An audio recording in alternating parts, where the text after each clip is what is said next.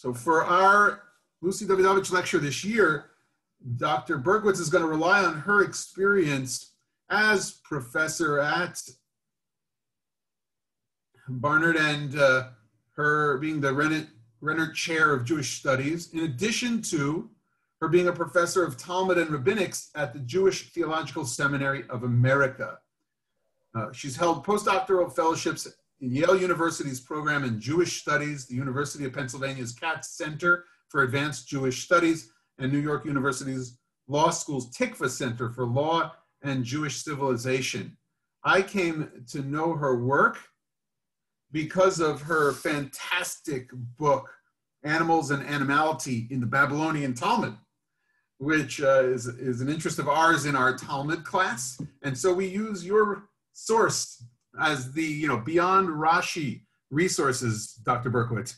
And we go beyond Rashi and beyond the page and, and really bring to life the pages based on some of your fantastic commentary about our most sacred Talmudic literature. I want to thank Mark Ashley and the programming committee. Mark for his not only his article in the newsletter describing this lecture, but for uh, his engagement with the material that was sent around. And, and Dr. Berkowitz, we're, we're, we're again so delighted to have you here. In a moment, Dr. Berkowitz will be sharing her screen. I'll be spotlighting her video, and you can hover your cursor up to the upper right hand corner, at least it is on my screen, and where it says speaker view, if you click it, you will be able to see Dr. Berkowitz's shared screen and her picture alone. And that will make for, I think, an engaging way of hearing her lecture and seeing her on your screen. Adjust your system volume as is necessary, as I cannot adjust any volume. And a reminder that you can use the chat below. And if you hover over the bottom and you get the little chat bubble, you can put comments and questions into the chat so that we're not interrupting Dr. Berkowitz's presentation. And uh, at times she might invite interaction and we'll move back to this gallery view again by clicking that upper right hand corner and going to the gallery view so you can see lots of people and faces. Dr. Berkowitz, all yours and delighted to have you here. Thanks so much, Rabbi Bolton. Um, I really want to thank you for inviting me to be here this evening.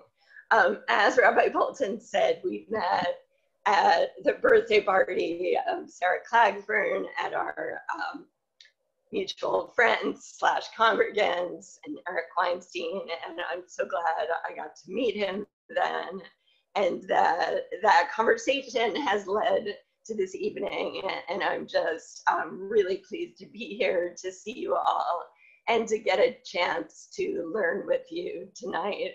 I also want to thank Mark Ashley, whom I spoke with, and who helped organize this evening. So, um, so I'm really happy to be here, and I will start by sharing my screen.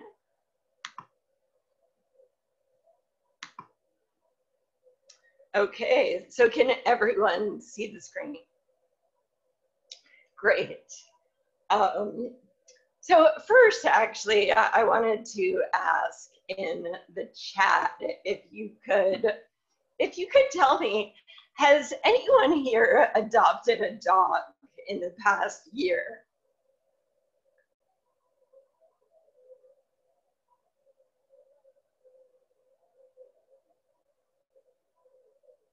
That's great. That's even better. So someone fostered a dog two years ago. Eric um, got a dog. So, uh, so I'm sure a lot of you have heard that this past year there's been um, just a huge number of adoptions of dogs. Um, people are at home more. People also want to get out more people are seeking companionship and connection. Um, so I actually had a dog before the pandemic also. His name is Bert. Um, uh, let me show you a picture of Bert. He is a Newfoundland. He's big and fuzzy, and he looks like a bear. and he gets a huge amount of attention wherever we go. And people's response to him is really interesting. People assume he's just this big old cuddly teddy bear. So he can be very sweet, but the reality is actually more complicated. Bert has actually gotten into numerous dog fights. He's sometimes aggressive towards people if he's scared, like skateboarders. Um, he'll bark and growl menacingly at them, which of course makes me feel terrible. Um, so it's that disconnect between the reality and the perception that I wanted to delve into with you tonight. If Bert had lived in the late 1800s, he would have faced a very different reality. So Newfoundlands were popular at the time, but as guard dogs. They were one of the first breeds registered by the newly formed American Kennel Club in 1886. They had a reputation for aggression.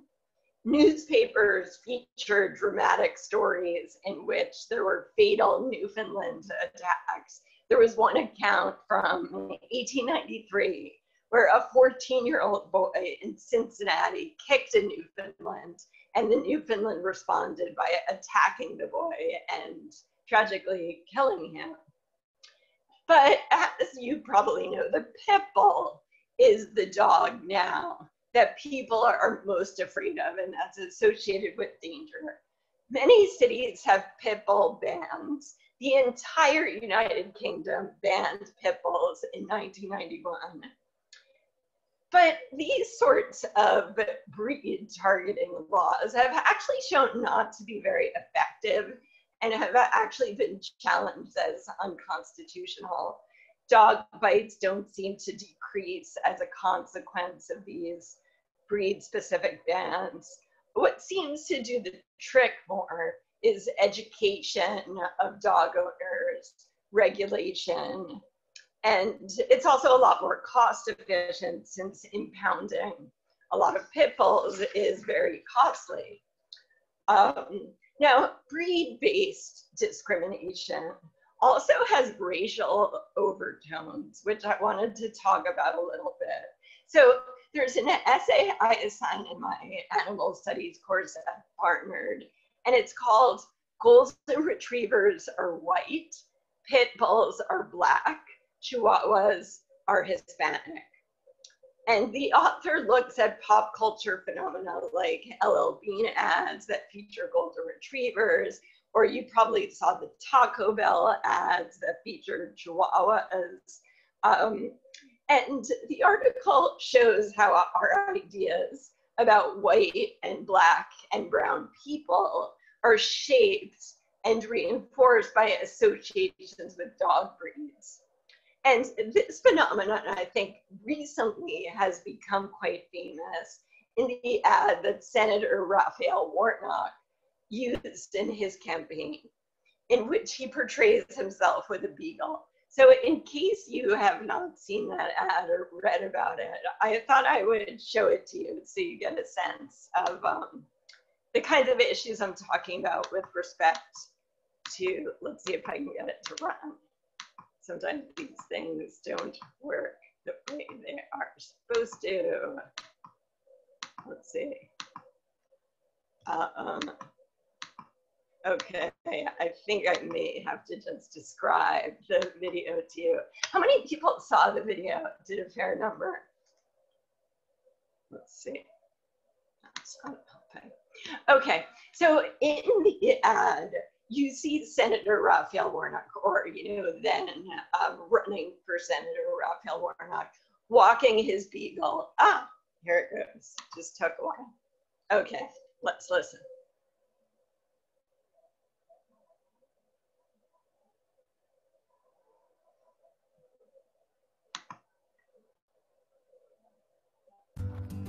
We told them the smear ads were coming, and that's exactly what happened. You would think that Kelly Loeffler might have something good to say about herself if she really wants to represent Georgia. Instead, she's trying to scare people by taking things I've said out of context from over 25 years of being a pastor. But I think Georgians will see her ads for what they are. Don't you? I'm Raphael Warnock, and we approve this message. Okay. I, I knew it was going to play again. Okay. Uh, we're going to get to this slide in a minute. But let me talk to you um, for now about this video. So an article on the website 538 commented on this video saying, Warnock's Beagle can be thought of as trying to communicate a specific white friendly message to voters. Something like, how can I be the scary black guy she's depicting with a dog like that? Warnock's dog ads may well be thought of as a dog whistle to voters who have lingering concerns about Black political leadership. So that's from the 538 site. I myself, I have to say, was somewhat crestfallen when I found out that the beagle isn't actually Warnock's dog. What can you do? So let me start by making three points about dog breeds and danger for us to keep in mind as we dive into some rabbinic texts, which are my area of specialization. So one, perceptions about animal danger are cult- culturally constructed and shift over time. Two, these perceptions are related to our ideas about human identity, such as race. Three, perceptions about animal danger often mask our own accountability in cohabiting with dogs. And that's something I'm going to say more about as we go along. To put it simply, for that last point, it's easier to blame the dog than to blame ourselves when something goes wrong. So let's keep those ideas on deck as we study several rabbinic texts. This is the first one. Here's the plan. We're, we'll first look at this Mishnah that deals directly with the problem of animal danger. And I'm going to suggest to you that there's a discourse of animal danger in this text comparable to the discourses about pit bulls and Newfoundlands with which I started. Then we're going to turn to a story in the Babylonian Talmud that's about dangerous animals. And I'm going to argue that the story is actually trying to get us to think critically about these discourses of danger and to take more seriously um, our own accountability um, in that danger. So, what is really going on when we decide that something or someone is dangerous? That's kind of the big question for tonight. And I think the Talmudic story is inviting us to think hard about this question. So let's start with this Mishnah. Um, it's Mishnah Tractate Bava Kama, chapter 1, Mishnah 4. And just kind of bear with me because it's a quite complicated Mishnah. There are five innocent. The Hebrew word is tam, and five attested. The Hebrew word is muad an animal is not attested with respect to goring, butting, biting, squatting, or kicking. The tooth is attested with respect to eating all that is appropriate to it. The foot is attested with respect to smashing as it walks. The attested ox, the ox who causes damage in the domain of the one damaged, and the human the wolf, the lion, the bear, the leopard, the panther, the serpent. These are attested. Rabbi Elazar says, when they are domesticated, the Hebrew word is b'nei tarbut. They are, sorry, when they are domesticated, yeah, they are not attested. And the serpent, the nachash, is always attested what is there? What's the difference between innocent and attested? Only that the innocent pays half of the damage from its own body, while the attested pays full damage from the upper story. So I realized that there was a lot going on there, and we're going to unpack this piece by piece. So, but let me first give you an overview of the Mishnah in case that's not entirely familiar. The Mishnah is a second and third century CE Jewish legal collection. It was composed in Hebrew in Roman Palestine. This particular Mishnah features animal tort law. The Mishnah distinguishes between cases in which the animal owner must pay full compensation for damages caused by their animal and cases in which the in which the animal owner just has to pay half compensation. In the half compensation cases, the owner doesn't have to dip into their savings, but they pay only out of the value of the offending animal. Okay, so that's kind of the big picture.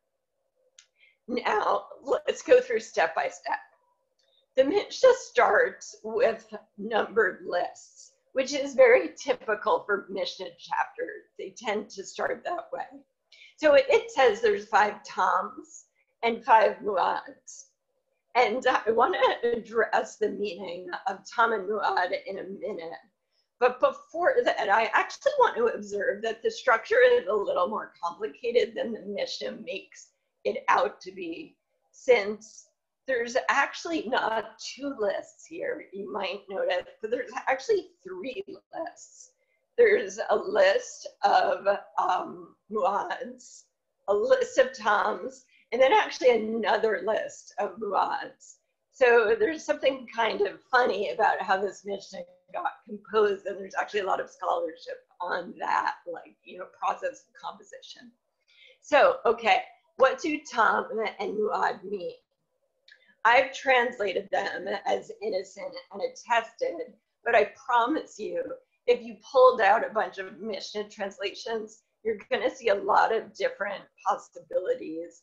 The translators really struggle with these terms because they're complicated terms. Um, I um, I want to delve into these terms because I think they're going to illuminate for us the Mishnah's discourse of animal danger. So, okay, my first question is the Mishnah getting these terms from the Bible?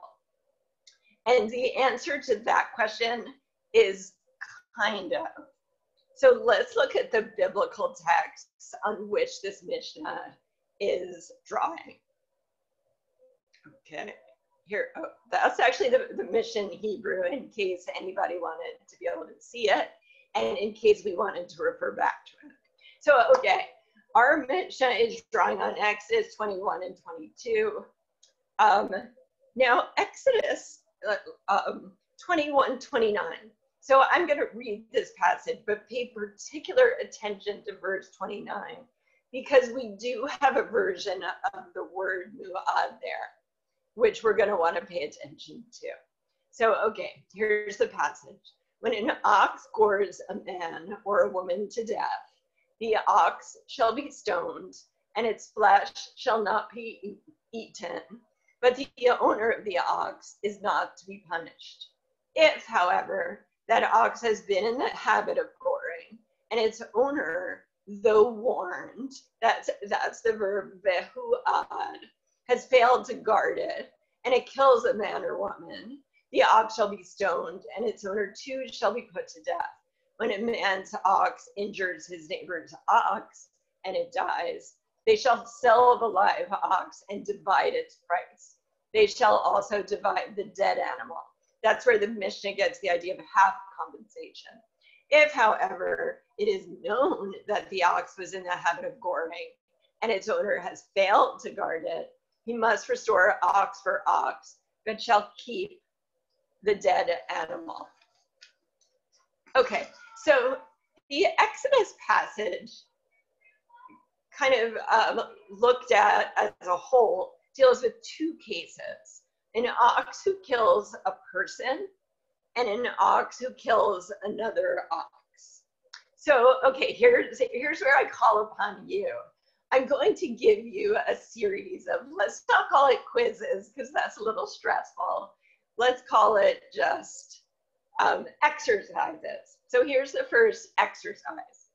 Imagine you are living in ancient Israel and you're lucky enough to own an ox, but you're unlucky enough for your ox to, God forbid, gore a person to death what happens to you? So if you could put that in the chat, I'd like to see the answer. I can repeat the question. You have an ox. The ox kills someone. What happens to you?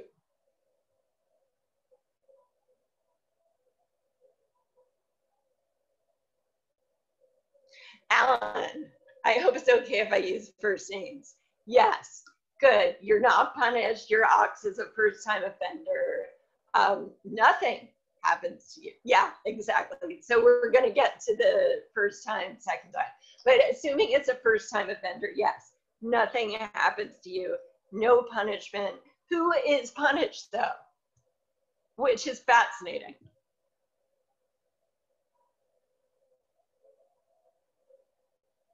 You could call it punishment. I yes, I would call it punishment. They're being stoned.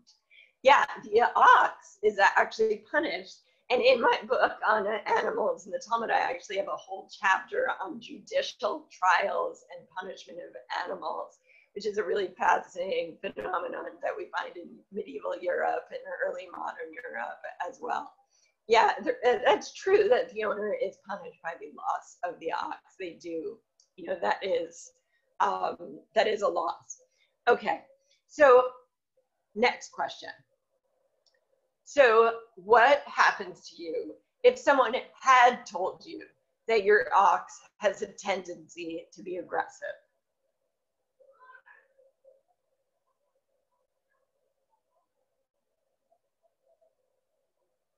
Yeah, thank you, Naomi. Good, Bobby. Good, Dara. You guys got it. Um, um, you uh, get the death penalty. You uh, you have um, a um, capital penalty for not having um, taken proper care of your ox.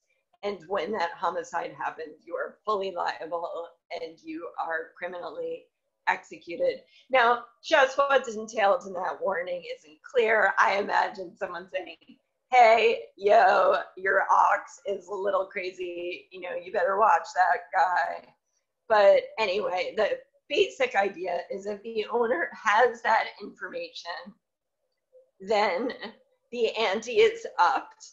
There's a greater degree of liability. If the owner has no such information, then he or she is less liable.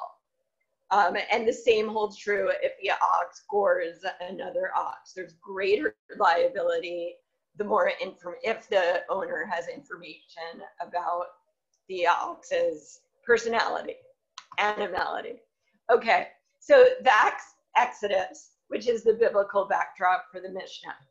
How is our Mishnah relating back to Exodus? Now, let's go back it's a subtle but noticeable shift.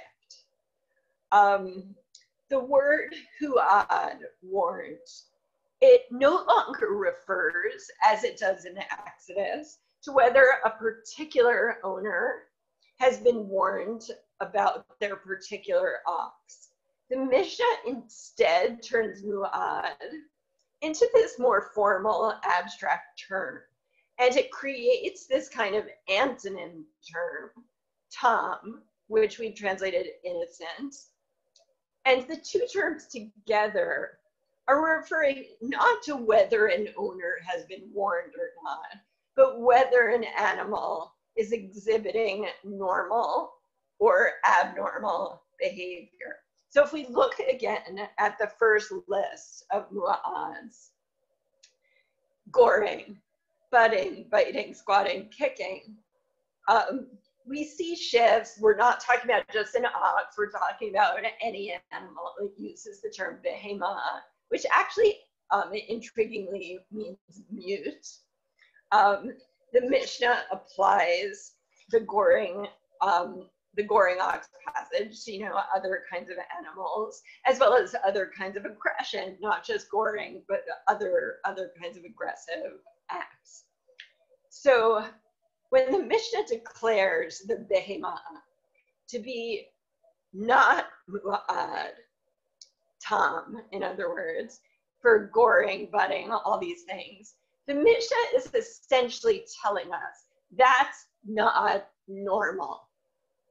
The Mishnah is it's following the same principle of liability as in Exodus, that if you can't predict your animal's behavior, then you're not as liable for the harm that it causes.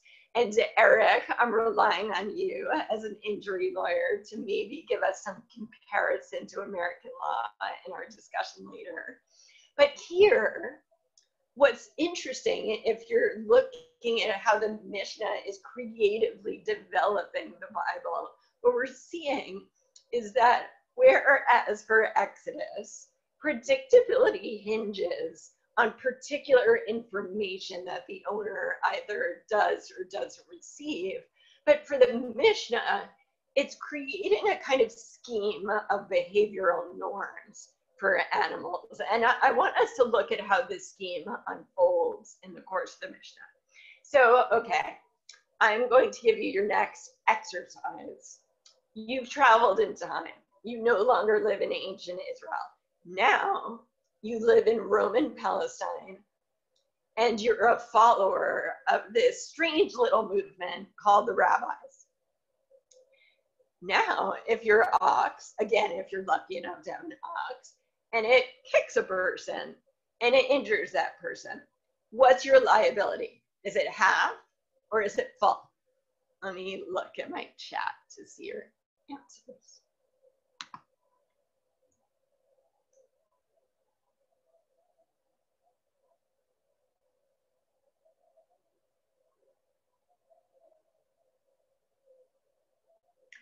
Good. Tara, excellent. It's not full. It's half. Half. Good, Bobby. Good. Thank you for for being brave enough to you know try and answer. I know it's it's you know it, it's injury law. It's complicated stuff. Yes. Um, you pay half because you could not have anticipated this kind of behavior. The average ox, according to the Mishnah, just doesn't go around kicking people. It's not your fault. Okay, so that, that, the Mishnah is going to contrast that now with abnormal, aggressive behavior. These, um, so, or, sorry, it's going to take that abnormal, aggressive behavior and contrast it to so-called normal behavior. And that's the muadin. So, okay, let's start with the first two.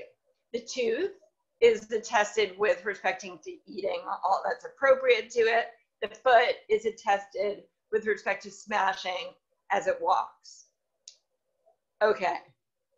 And I have to tell you, this material gets really weird when you teach it because people start talking about tooth and foot as like tort categories and you forget that it even refers to a body part at all. So, okay. Now, what I want to point us to is another shift from the biblical materials. When Exodus talks about huad, it's referring to cases where an animal has exhibited aggressive behavior. Remember. But when the Mishnah uses muad, the related word, it's actually talking about cases where an animal is exhibiting non-aggressive behavior, just like humdrum walking around and eating stuff. Um, so for instance, the Mishnah is going to go on to explain if we had, you know, a multi-part series of, you know, study sessions about this, you'd see this. An animal can be expected to eat fruits and vegetables that appear in front of him or to break small objects that lie in his path. So, okay, here's the next exercise. You're walking your ox, and your ox starts munching on a bag of apples that's sitting there. Was it your job to have prevented this? Do you need to pay full compensation? I'm going to my chat. A person? I know it's interesting, kind of whose obligation is it to prevent damage? And I'm sure this must be the central animating question of any personal injury or tort law system, you know. It's and this is how the Mishnah falls on these questions. Alan, perfect. Yes. Yeah, perhaps the apple should not have been there. But that is not what the Mishnah is going to say. The Mishnah is going to say it's your job to expect that your animal is going to eat a bunch of apples and it's your job to make sure that doesn't happen because you have every reason to expect. And trust me, when I walk Bert, I keep him away from stuff that I know he's going to damage because that is the smart thing to do. okay, so um, now let's go to the third thing on the list. The third thing is weird the attested ox, because that's the Exodus case. Um, that's the one we already know, which actually clues us into the fact of how creative the Mishnah is being. That now the actual case of the Exodus passage is just like one little case among a bunch of other cases that the Mishnah has now been able to generate. Um, okay, but for this, it, just to understand the attested ox, where does that fit into the picture now? Well, this would be an ox who's exhibited abnormal behavior, such as goring. And the owner has been informed, which means for this ox, and I hope this isn't too complicated a way to say it, but the abnormal has become normal. It has shown itself to typically act atypically. And that's really the case that Exodus had in mind. So I'm going to skip number four and for just a moment skip number five. But let me just note it's kind of fascinating that the human shows up in the midst of all this. Like, what's the human doing here? How do we think of the human with respect to all these other animals?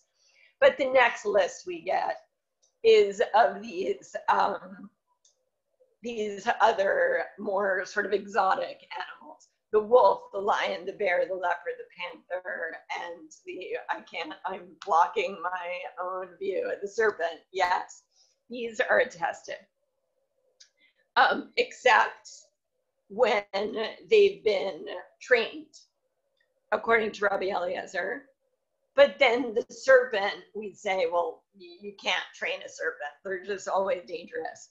So, okay, what I just kind of gave it away. What's the real, what's the best translation of attested here? It's really dangerous. We're talking about dangerous animals, going back to my big theme. So, unlike for domesticated animals, where aggressive behavior is considered abnormal, for these species, aggressive behavior is considered normal. And this is really the discourse of animal breed specific or species specific danger with which I started. So, okay, your next exercise, make sure you're with me, is the following. Um, yeah, for I think that's a good. I think that's a good argument, maybe against the Mishnah. So, um, okay, so here you are.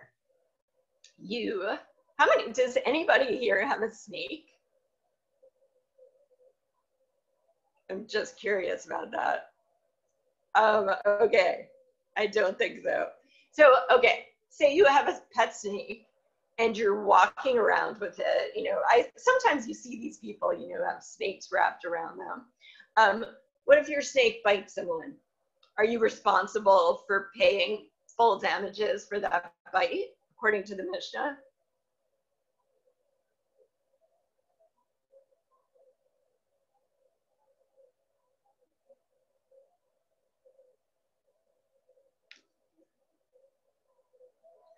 Absolutely. Good, Bobby. Good, Alan. Good, Dale. Yeah, totally. Um, full damages. Because even if that's snake, according to the Mishnah, what about if it was here? I'll, I'll vary the exercise. What if it was um, your pet's panther? Pet tiger. According to Rabbi Eliezer.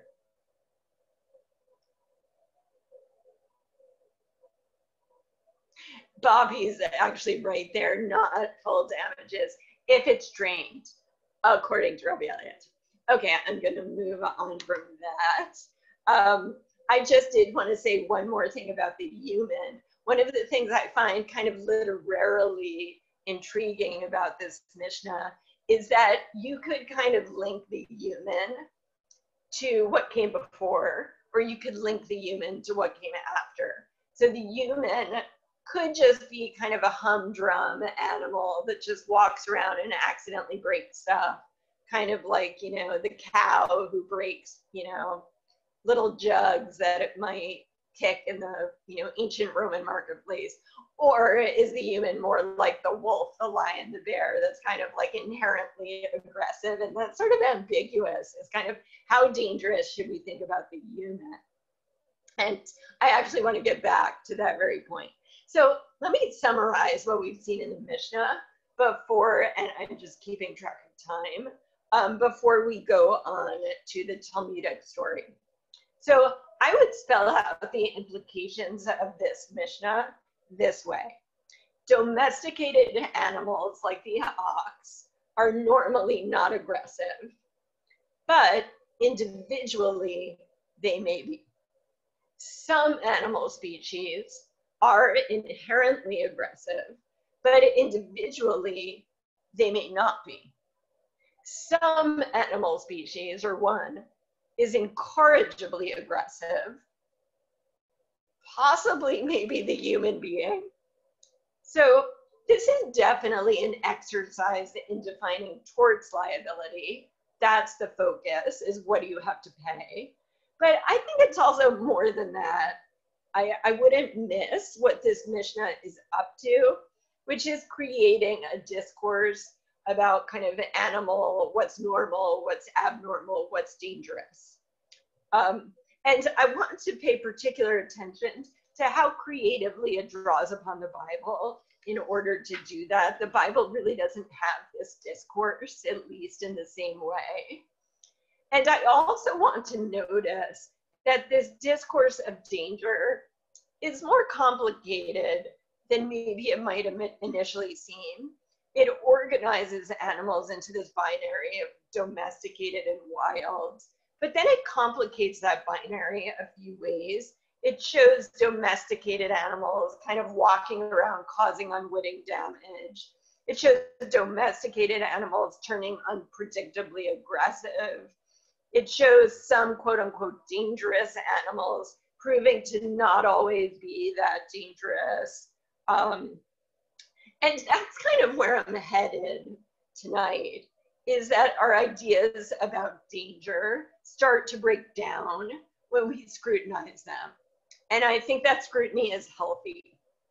And that's really what the Talmudic story offers. And I want to turn to that story although to look at that story, we actually first should look at the um, Mishnah on which it's based, which is itself pretty interesting. So let me just get my slides up to us.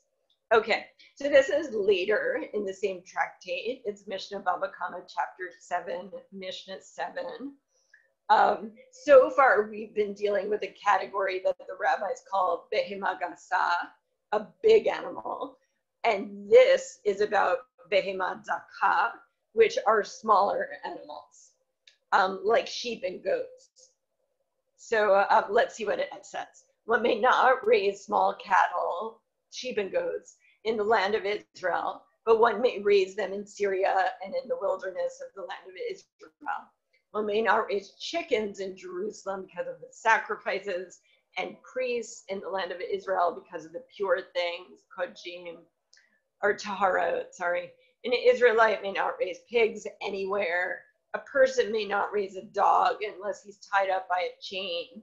One may not set traps for pigeons unless it's 30 degrees, which is apparently like 40 miles from the inhabited areas.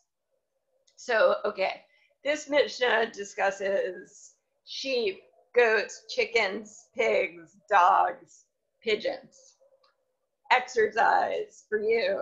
You're a Jew living in Jerusalem in Roman Palestine.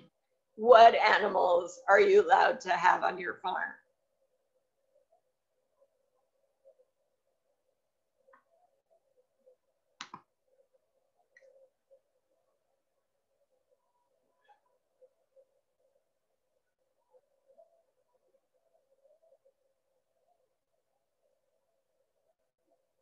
Large cattle. Good. Yeah, we got that. And it's interesting why they're okay with large cattle. But goats, um, if you're goats, it depends where you are. You kind of got to be out in the boonies if you want to have goats. What else can you have on your farm?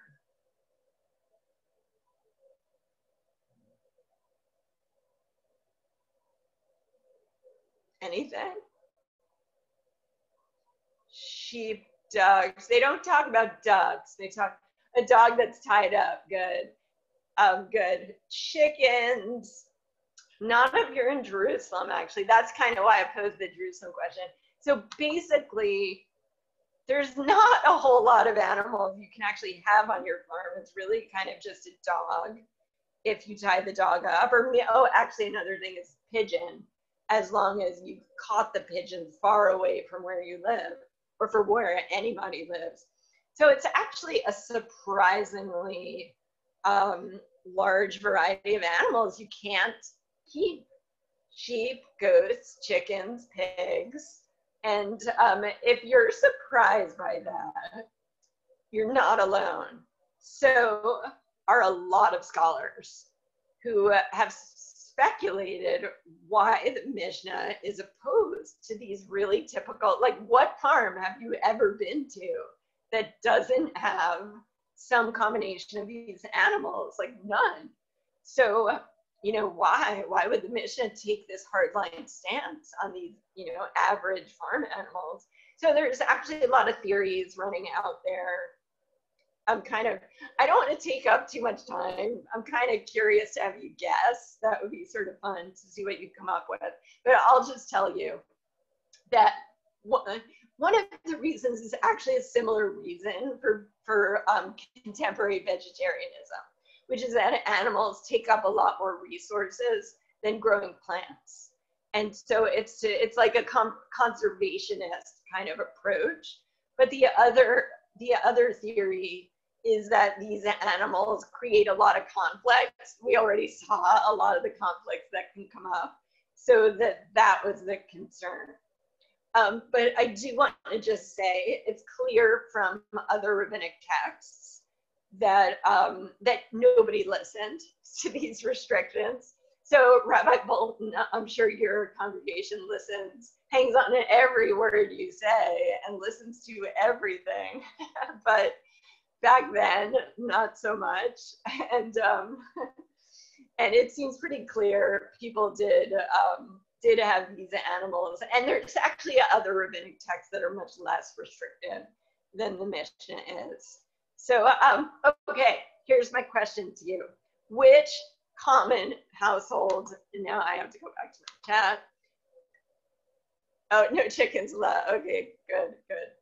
Um, that would be a little chaotic and messy. Um, so which common household animal did you not see on that list?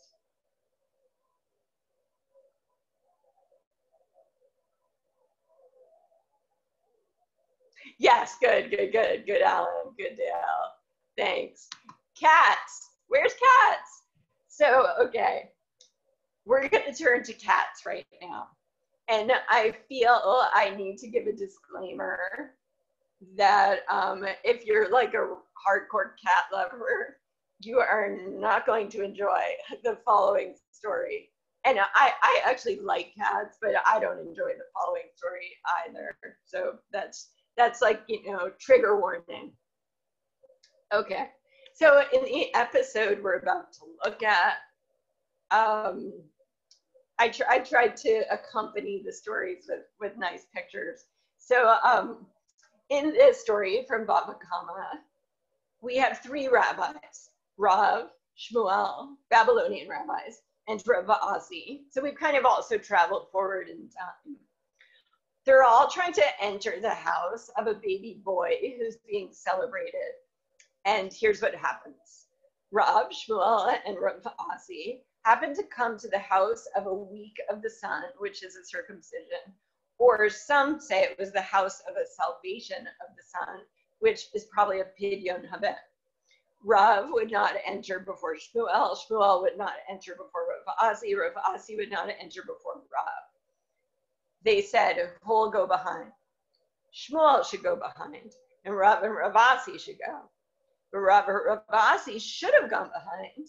Rav was only making a gesture on Shmuel's behalf. Because of the incident where he cursed him, Rav took it upon himself. In the meanwhile, a cat came and mutilated the hands of the child. Rav went out and expounded it's permitted to kill a cat and forbidden to raise it.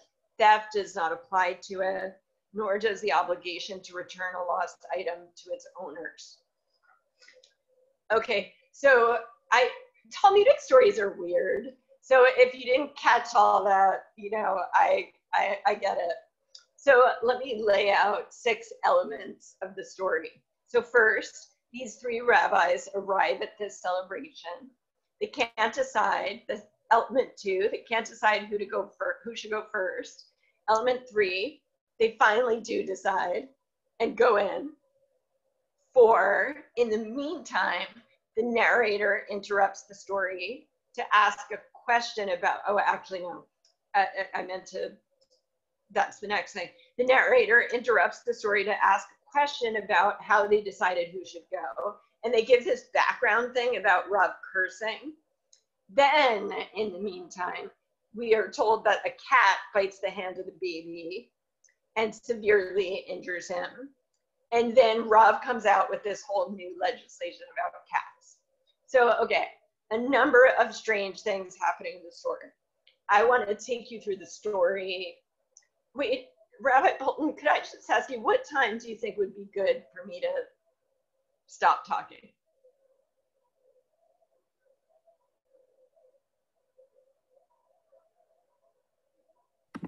I, th- I think you're definitely um, you could take till eight thirty, then open it Okay. up for dialogue eight thirty-five, and open it up for questions and comments. Okay, I'll, I'll aim for that. Great. Sound good? Sound good. Okay. So, so let me take you through the story and then I will try to wrap up. So the story begins with this, what I think is an irrelevancy. Is it a bris? Is it pidyon haben? Like, who cares? So I actually like to read Talmudic stories in a kind of literary way. And the way I read this is that the story dwells on this seemingly tangential point to focus us, the story audience, on the boy and to contrast our focus on the boy with the main character's negligence regarding the boy.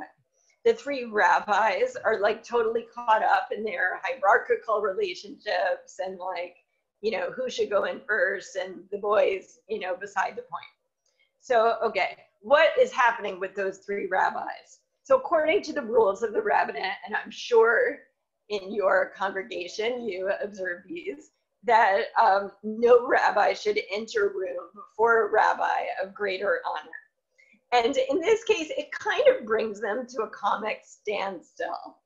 Rav won't enter before Shmuel, Shmuel won't enter, you know, blah, blah, blah. They each won't enter before, before the other, and nobody can move. So they realize they're in this predicament. You can kind of picture this like they're all like sort of, you know, jammed into the door and nobody can go first. And they ask, like, who's going to hang back? Like, we got to figure this out. So at that point, they decide Shmuel should defer to the others And the editorial voice in the story is like, why Rav or Rav Asi um, should have gone behind. And basically, what they're referring to is this other incident that gets narrated elsewhere in the Talmud, where um, Rav gets this terrible stomach ache. It's a very funny story, or kind of weird story. And Shmuel cures Rav, but he does so by feeding him all this food and then not letting him go to the bathroom. And it's like this really bad scene. So um, Rav cursed Shmuel. And then in this story, he feels bad about cursing him, and that's why he wants Shmuel to go ahead of him, even though Rav has like the right to go ahead of him. So that's kind of the background. Again, I like to read these stories almost like literature. And in my reading, they bring up this other story to point to a couple of things. First of all, that Rav is kind of an angry guy. Like he goes around cursing people, and you better watch out and not cross him. And the other is that like the rabbis, like all their honor and kind of micro power struggles, that that can like go bad really fast and quickly turn it into to curses into something bad. So in the meantime, they're all preoccupied with these questions of honor. We can imagine the guests and the family are too. That the cat attacks the baby that they're all there to celebrate. And you know, you can only imagine how tragic and shocking this must have been. So, what's the rabbinic response? Well, Rav emerges with all these really harsh legislations about cats. Now, if it were you or I in this situation, how might we have handled the situation?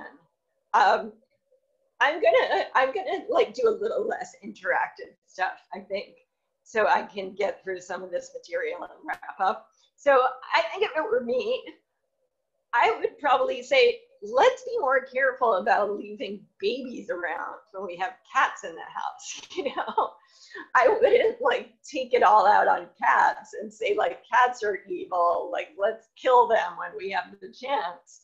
So um, so okay, here's where like cat lovers can come back into the talk because I think the Talmud actually agrees with me and is trying to lead us to exactly this conclusion that discourses of animal danger are a strategy that we humans use for a variety of purposes. And I think in this case, it's actually to deflect blame from the rabbis who are literally paralyzed by their preoccupation with their honor. And Rav's legislation kind of shifts attention away from that and uh, I'm going to take you more quickly through the rest of the Talmudic material because it's kind of complicated, but I just want to show you, I think, the point it makes. So in the next section, this is right after, the Talmud keeps asking, like, why did Rav keep, like, why is there so much redundancy in Rav's legislation?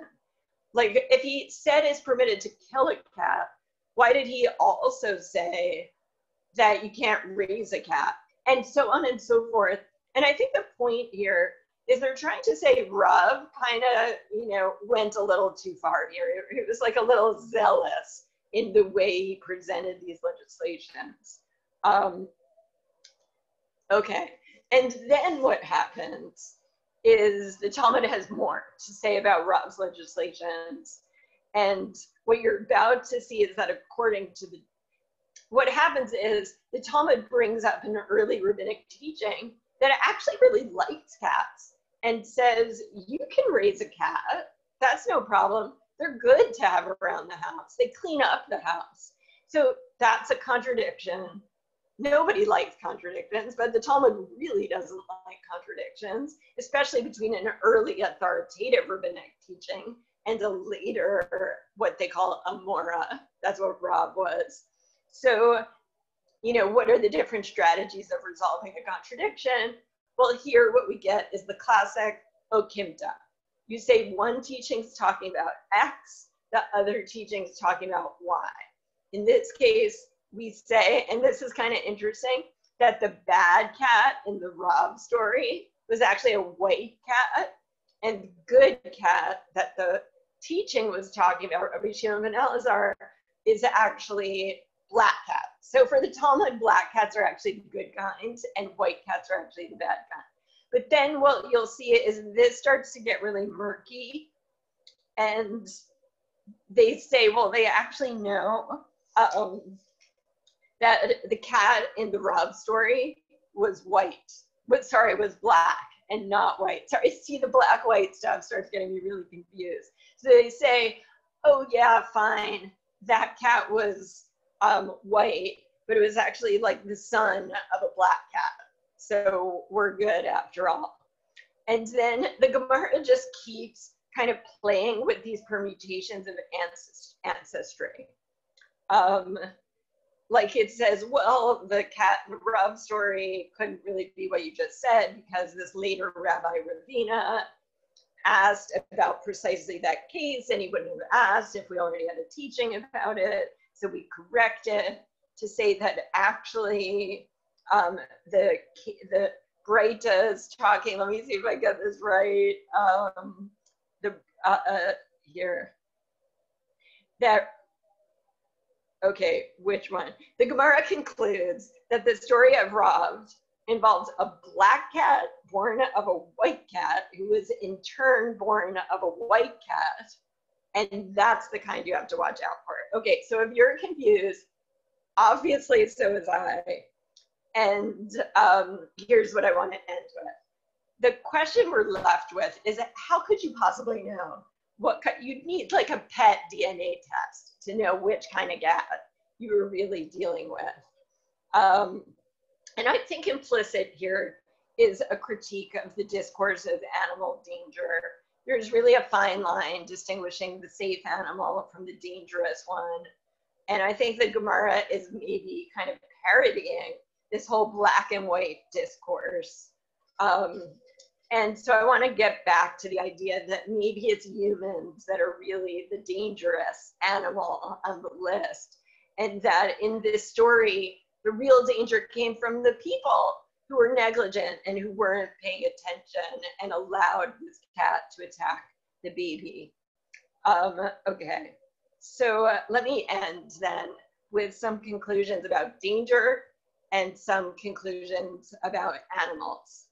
So I want to close with the idea that this past year, we've been engaged in a lot of new modes of what I would call risk reflection, a lot of new kinds of risk and danger. One comes from the pandemic. We're facing new risk calculations every day. Do you go to the grocery store? Do you visit your elderly parents? You know, all the time weighing risks.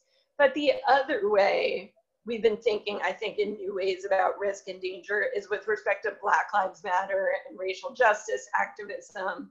As a society, we're coming to reckon with how dangerous it is to be Black in this country and how dangerous Black people are perceived to be in this country. I mean, talk about black and white cats. We have a problem with black and white in our country um, that's much bigger and the, the pandemic and racial justice obviously intersect. We know Black people have been hit much harder by the pandemic, and that Asians have been blamed for the pandemic. So I think we need to think a lot about who we perceive as dangerous, who's actually in danger, and we need to adjust our decision making to address risk in more self aware ways and I think the story in the Talmud kind of gets us going in that direction. But I also want to draw some conclusions about risk and animals. I think the Talmud also helps us think in new ways about animals. Which animals do we perceive as dangerous and why? In what ways do those perceptions kind of mask our own insufficiencies? And also the danger we pose to animals, not just the dangers they pose to us. So I think we not only should be thinking about racial justice, but also species justice. And so I'll just close. You may know that Isaac Bashevis Singer is a famous vegetarian. Jonathan Safran Foer has gotten really involved in animal activism. What you may not know is that in the academy, there's an entire new field called animal studies, which is in every area of the academy. The French philosopher, who I might add is Jewish, Jacques Derrida is one of the major figures. So is Peter Singer. Jewish studies scholars like myself are trying to bring our work into dialogue with animal studies. And we now have a lot of great Jewish studies work in animal studies from Bible to Hasidei Ashkenaz, the medieval Jewish pietists, to modern Yiddish and Hebrew literature. And I just gave you a case study in rabbinic, but there's a lot of great Jewish studies, animal studies work out there. I'm currently working on a project on something I'm calling the animal family laws of the Torah. I won't say what those are, but feel free to ask me about them.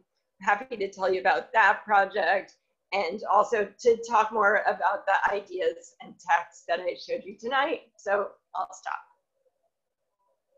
And let me uh, stop here. Okay. So I'm going to turn my view back to gallery view uh, and thank Dr. Berkowitz for uh, engaging read of rabbinic texts, claims about their connectivity with some of what's embroiled this society, matters and issues that we are contending with today, and welcome some comments uh, respectful uh, reflections and Talmudic reflections at that, since we're in Talmudic literature, and allowing for us to think about some of the constructs that were suggested and potentially the constructs that were presented tonight. Um, my first, as you think about that, and as we get set to allow people to come off mute, um, my first reflection, Dr.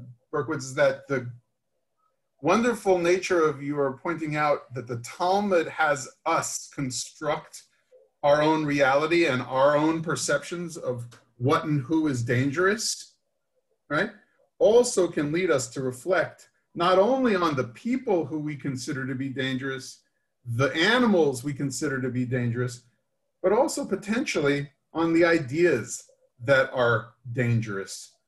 It seems to me that some of the constructs that we assume are working towards justice may indeed be undermining them. And this is not to completely be entirely challenging all you suggested, but it is that we, we, we, we situate ourselves as Jews with a value statement such as all people are created in the image of God, and yet there are so many people working on constructing categories and constructs of, uh, to put it squarely, of uh, racial justice systems that I'm not sure we haven't also really started to stir ourselves into categories that need to be as blurry as the black and white cat's offspring. And so I just present that as a potential way of reading our own set of categories and some of the absurdity that seems to be going on with redefining, let's say, the, uh, the, the nature of our own approach to a system where, wherein we hoped, even if we couldn't be there in its pure form, for the equality of all within the borders of, of our own nation. So I present that in a Talmudic way because these are important matters to think about quite Talmudically. And if anything tonight, I'm totally inspired by the way that you've helped us put up as potentially undermining the very categories that we sometimes create, like the rabbis of the Mishnah create, very different from the Torah wisdom that we might have applied, and where it says that human beings are really at fault, not the animals. So that's that's my initial take. Uh, others with with comments, questions, or do you want to react to, to something that I've said before we start the dialogue with the community? Yeah, I'll just say quickly that I like I like what you said about ideas being dangerous and thought about that actually with respect to this material. But there's a whole um, rabbinic discourse about heresy that um, and you know ideas that are dangerous that I think would be interesting to put in, into dialogue with this material. And yeah, I really like what you said at the end about, and that's something I love um, to look at in my work is, you know, what's going on in the Bible, what's going on at, at this level of the Mishnah, what's going on in the Talmud in different ways, and the kind of internal just development, creativity, but also critique. And what I especially like in just the particular things I showed you tonight is I think how powerful stories can be as critiques and in subtle ways. Like the story I showed you, I read it as a critique. You don't have to read it that way. I don't, I think very few people read it that way. But I think stories, um, there's so many different ways to read them. And I think they're a really powerful site for cultural critique. So if you'll just uh, raise your hand or we can do a little bit of uh, thoughtful sharing and questions for Dr. Berkowitz now. I'd like to open it to the community here.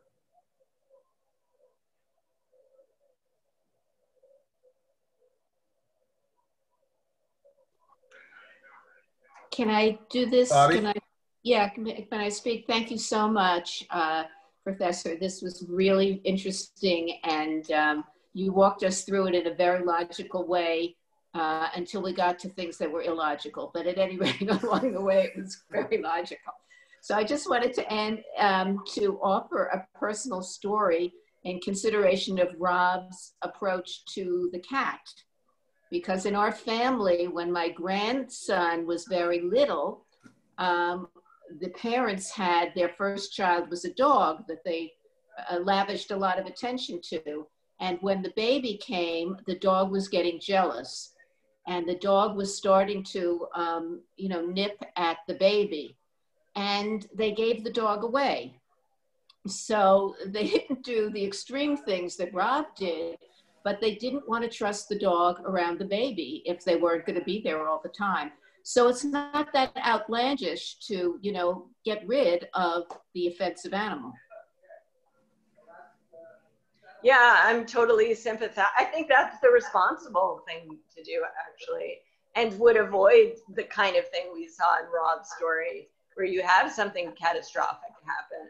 And in that case, you know, I think I, you know, somebody should have intervened and said, we need to keep these people, we need to keep the animal apart from the baby. And sometimes you have to make hard choices. I have friends I, I have friends who live down in North Carolina who had a dog they loved, but the dog kept attacking people. And ultimately, they actually put the dog, I, I hate the euphemism, like put the dog down. And, you know, I had a hard time not blaming them, but I saw how much they suffered at having to do I, I think it raises really difficult questions because the animal needs to be safe, but people need to be safe. We all need to be responsible. And it, it ends up posing these really tough choices. Okay. Thank you. I have one. Um, Eric, I- Eric, go ahead. Yeah. Um, I was in the middle, but I stopped typing. Uh, I was- going to bow out early on Socratic method questions from you about um, uh, relationships um, among strangers. I, I, most of the law I practice, um, not matrimonial, that's the like, ultimate relationship, but business relationships and um, contracts, fiduciary duties. Um, this opened up my mind really to relationships um, among strangers, um, which sounds to me at first glance to be a bit of an oxymoron, but um, I think this opened my mind up to um, that uh, strangers need to be in in relationship to each other.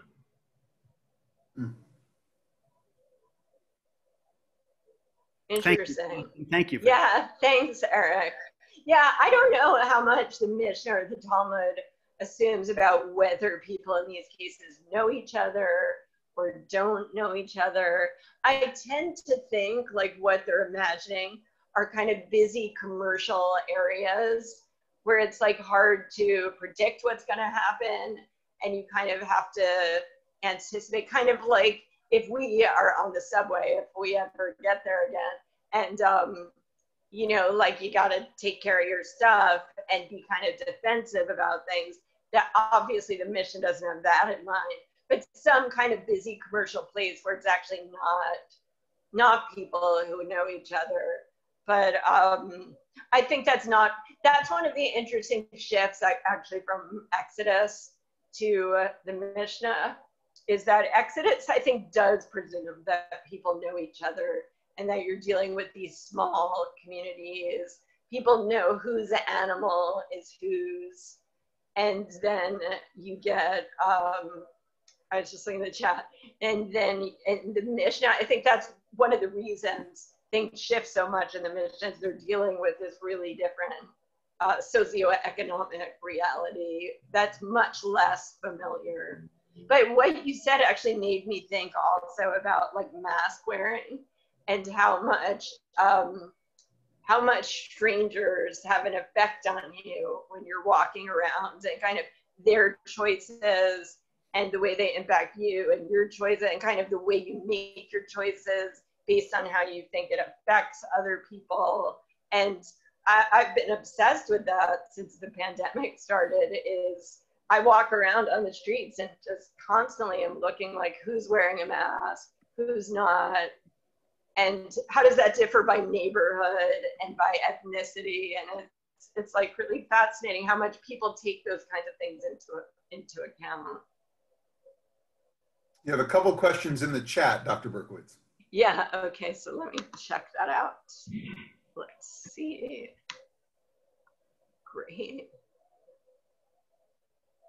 Back to randy feld's question which is post to the dialogue about the talmudic sources Okay, yeah, because I missed some of the earlier ones that are interesting. To look at these. You mean where does the Talmud stand on animal rights? Yeah. Yeah, so, oh man, I have so much to say about that. Um, what about when humans are cruel to animals? Seems like the Tal- Talmud only views animals as human property. I, you know, I, I've looked, there's like one classic place where the there's like the term is tsar chayim, the suffering. They usually translate that as the animal suffering, and there's one key source in Bava Metzia that really has this lengthy discussion about it. And there's some interesting scholarship by rabbis and others. And if I had to sum it up, and it's hard to sum up Jewish law on anything, but summing up the Talmud and that particular sugya, I would say it's like one value among the other values. And I think you're right that fundamentally animals are property. And luckily, treating animals well is also treating property well. You know, like sometimes like if your ox dies, that's like a loss of property to you. So it's a lot of the same issues raised by slavery. You know, uh, um, there's a lot of overlap in that if you treat creatures too terribly, they won't thrive and they won't be able to do the work you want them to do. But if you don't really think of them as people or as creatures who have equality, you're not going to give them the same kind of care you would give yourself.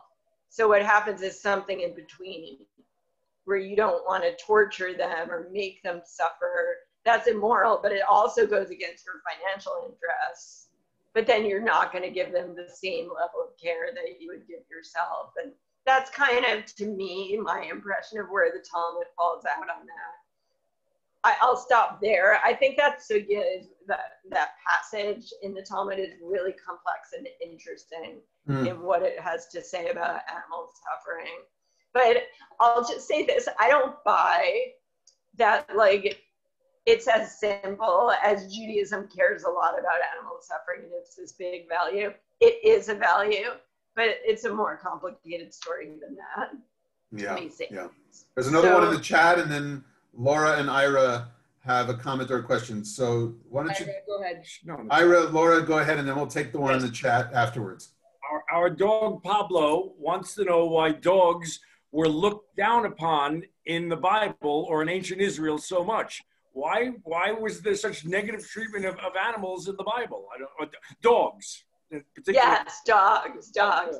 Why? Agreed.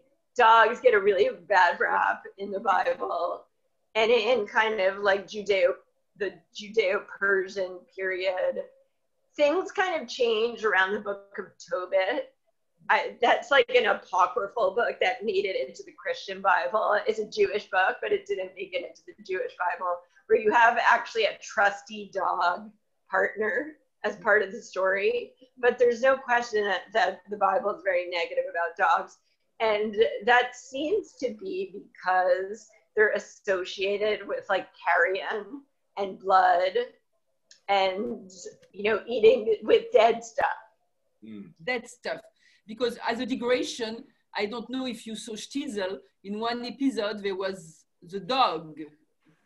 Yeah, I, I, yeah, I've seen like some of Shtisel. I'm trying to remember if I saw the dog episode. The yeah, I'm very. Yeah, I'm, the grandfather puts the dog in a shopping bag because his grandson wants the dog. He didn't like dogs at first, but he puts after the, he liked it. After he liked it. Uh, oh, that's funny. I could I could totally see that.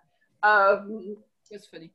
Thank you for your question. Yeah, but uh, oh, I just want to say that there's a great collection called The Dog in Jewish History, or the, I think it's called The Dog in Jewish History by a scholar named Philip Ackerman Lieben. Philip, I could Lieberman. I, I could probably get that to you, but it covers all of Jewish history. It talks about dogs and like Yiddish literature. Um, it it talks about dogs in the medieval period. Like it's got everything, and it has a bunch of articles treating dogs in the Bible. And you're absolutely right. It, dogs dogs get a really bad rap in the Bible. So so back to the uh, chat where uh, Benjamin Marcus wrote in. Yes, and, I'm just looking. There's camera tech issues, so no uh-huh. problem. Uh-huh. I wonder whether you think the Talmud itself is or means to be as flexible in who it wants to allow to interpret its lessons and according to some changing culture of those whose period its interpreters live? Or is it possible the Talmud means to be universal and offering or requiring a certain more abstract set of deductions or prescriptions for how to live and be together as a social group of fallible humans that's really interesting. I don't think the Talmud ever meant for me to read it. I think it was like an internal text for the rabbis in Babylonia. And so I do think it's internal discourse. And maybe that's why it does such interesting things. Maybe it would have been more cautious if it was trying to be more universal you know, the more people you try to speak to, probably the less the less sincere and honest and open you are. But um, yeah, and it continues to be read by so to be read by so many different people. I mean, in the academy, we kind of do our thing, and there's a lot of great scholarship on Talmudic stories. Jeff Rubenstein at NYU is kind of the scholar who who does a lot of work on rabbinic Talmudic stories. Daniel Boyarin at Berkeley has done great work on kind of sex and gender in Talmudic story. There's a lot of great work, but I don't think the rabbis in, you know, 8th century Babylonia knew we were going to be doing this. But that's how literature works, you know. I think once literature is out there, um, you know, anybody could read it. But I think the printing press made a big difference. You know, a lot of big things happened in history that, that made literature more democratic than it ever was in late antiquity or the Middle Ages. So I, so yeah, so, uh, okay, sorry, so who is next? I mean, I'm really enjoying the chat, but I don't want to skip anyone.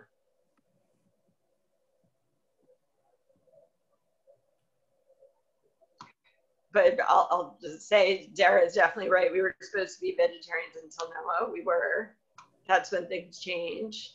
I mean, there's a great book by a scholar named Ken Stone on animals in the Hebrew Bible. That's just wonderful. I couldn't recommend it more. Wonderful. The uh, question that came up in the chat, and maybe we'll end with this. Did, did humans make that list because you think the rabbis think that we're inherently danger, dangerous? And uh, Sherman and Naomi kind of asked this question. I think I've got it right. And, and if that's really the not the flavor, Sherman or Naomi, you should chime in here and, and say what, what your what your question is. Um, I was just thinking about how so often when we do see animals exhibit aggressive behavior, how pit bulls have received this sort of reputation. Um, I mean, I just can't help but ask myself, is, is it the animal that's actually born dangerous or is it the environment that has nurtured this aggression? And I think we can say that about people too, you know, just being exposed to really horrific conditions, whether it's starvation, neglect, sort of just this this uh, fight fight for your life mentality, you know. And I mean, of course, it's different when we also see cases of this, like at SeaWorld, where a whale attacked. Of course, it's a it's a wild animal. Like you can't expect that sort of any other behavior from a whale, you know. But I think that when we're talking about dogs and cats and other household animals um, that have been domesticated, I think um, we're, we're not thinking about that enough because like you said, that there are people who do euthanize their animals when they do attack rather than maybe they just need to be relocated um, and put into an environment that's more healthy for them. And I just think that that's something that wasn't necessarily factored into any of the texts that we looked at tonight. Um, for me, it was maybe a little too black and white. Um, but yeah, I just wanted to point that out. Yeah, I'm so glad you said that's such a that's such a great way to end because that's really how I'm thinking too, and where I want the Talmudic text to push us because it's um it's just so easy to blame, and I, I think the Talmud is criticizing that. But then the next question is, well, what do you do? And I actually skipped a section where I was going to say, well, you may be thinking, well, aren't some animals dangerous? You know, like, don't we need to protect ourselves? Like, that's real. And you really put your finger on it is yes, that's real, but we need to create an infrastructure and kind of change the whole system so that that doesn't become problematic. So, mm. yes, there's danger. Like, yes, there are real dangers, no question. Humans can be dangerous, animals can be dangerous, but we need to have structures in place so that harm doesn't get caused. And I'm actually, this is maybe totally random association. I'm reading a book about, I'm trying to remember what it's called, but it's about a, family with 12 kids. I think 10 of whom are schizophrenic. Is anybody else reading that book? It's, it's, oh my gosh. yeah but um, but there's a lot of um, discussion of what causes schizophrenia. Hmm. Is it like the mother? Is it the environment? Because the old-fashioned explanation was like that, you know, the mother caused it. But then it's is it environment or is it biology? And then you know it seems to be some combination. And you know I don't know if Sarah is still here. She definitely talked to the Sarah Klagsbrun, who's a psychiatrist but um, but it seems clear that that the answer is we need to have systems that will help people. And that whether it's inherent or whether it's from the environment and the likelihood is, is that it's a combination is that we need to have ways to resolve it that aren't going to lead to more problems and more danger. And kind of my reading of that Rav story is that's just a way to clamp down and create more problems. That's not, I mean, I think we, I, I, I won't get political, but I think what we've seen is short term, easy solutions are not the answer. They, it's not, it, it doesn't get rid of the problem. You need long term, thoughtful solutions that really address the deeper problems. And the deeper problems here are yes, people can be aggressive. Yes, animals can be aggressive. But how can we work around that so that it doesn't cause a baby to be, you know, mutilated at their very own risk? Yeah. All right, we're going to take one last thought or question, Diane or Aaron, and Okay. then we're going to say uh, thank you and let Dr. Berkowitz go back to her uh, university classes and, and life uh, otherwise. But we, we really do thank you for hanging in there with us right to the, the last drop of what I promised a 9, a 9 p.m. stop. Thank you. So I, I think you really just touched on it, and it, it really is um, this combination of nature and nurture. So that we know that there are people who breed pit bulls to be aggressive, but we also know that there are put pit bulls that are puppies, and they're and they're not aggressive unless they're bred that way or allowed to be that way. So it, again, it's it's a nature nurture um, combination. And I think it's the same with people that, you know, we know that there are people who need nurturing in order to help them deal with whatever their aggressive tendencies might be.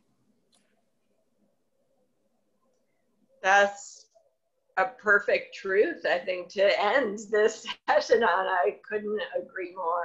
And um, yeah, I think that's that makes a lot of sense. Maybe in some cases there's a little more nature, in some cases there's a little more nurture, but how could how could never, you know, both of those things not be important? Dr. Berkowitz, I want to thank you for such an engaging lecture tonight. Uh, in, a, in a long list of preeminent scholars that we've had at our lectures, for our Lucy lectures, you, you now stand uh, as someone who's really done something entirely new. Here's what's new about rabbinic literature, folks. We, we, we, we got part of Nezikin, part of the Talmud about damages, going on a screen to then talk about nature and nurture of humanity, human hearts, minds, and souls to help us really refine what we take for granted as categories and what who and who we put into categories, how we define danger and possibility, and get to ultimately a conversation about moral agency of every individual. And that's, I think, part of what the rabbis might have expected if it leaked out.